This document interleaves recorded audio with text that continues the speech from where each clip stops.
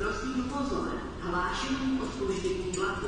Rychlík číslo 12, 19, linky R21, dopravce Arriva ze stanice Turno s příjezdem ve 14 hodin 32 minut bude o 20 minut opožděn.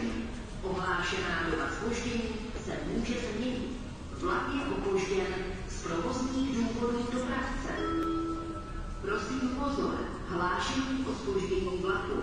Rychlík číslo 12, 19, linky R21, dopravce Arriva ze stanice Turno s příjezdem ve 14 hodin 32 minut bude o 30 minut opožděn.